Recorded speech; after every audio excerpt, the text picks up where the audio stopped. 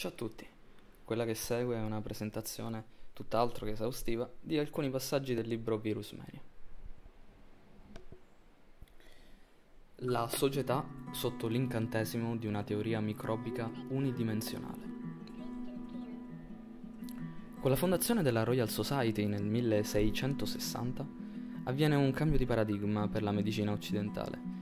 Ciò che conta sono le prove sperimentali, non fantasie speculative superstizione e fede. Nullius in verba, non crederà nessuno sulla parola. Da allora il nostro entusiasmo per i conseguimenti scientifici non ha fatto che crescere.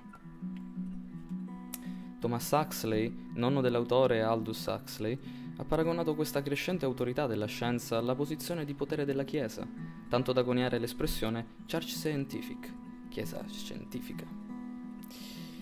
A causa del loro status odierno, continuiamo a percepire dottori scienziati come ricercatori disinteressati della verità. I giornalisti solitamente presumono che gli scienziati organizzino studi rigorosi e diffondano solo fatti dimostrabili.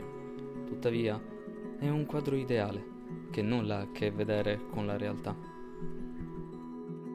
Incalcolabili miliardi di dollari sono trasformati in ipotesi scientifiche ma queste teorie sono spesso mera speculazione, dimostrate false e anni dopo, infine, rifiutate.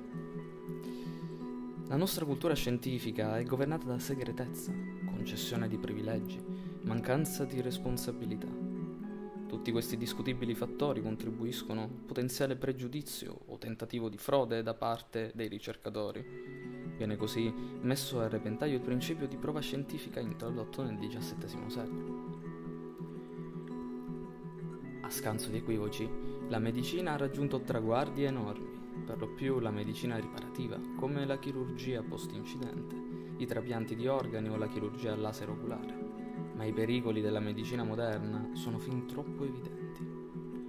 L'odierna mania delle pillole esiste perché distorta è la nostra comprensione di ciò che causa le malattie.